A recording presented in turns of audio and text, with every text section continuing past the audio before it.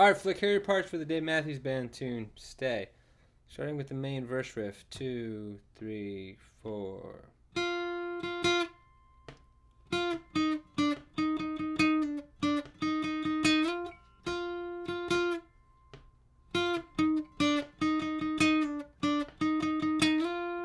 Chorus, just. Sorry, three, four.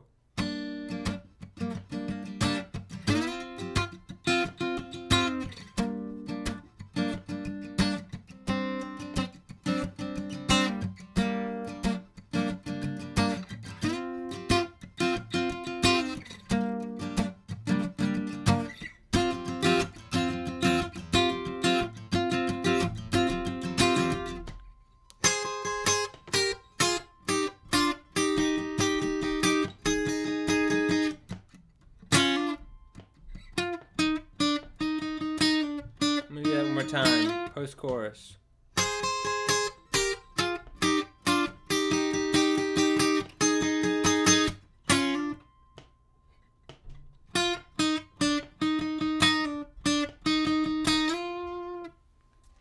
Good. Here's the horn solo.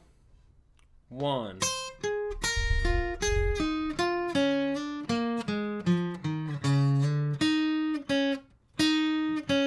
Again, a little faster.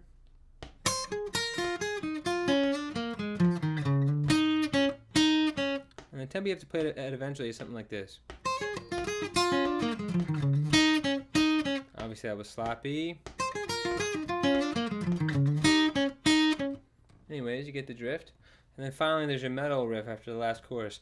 Stay, stay, stay, stay, stay for a while.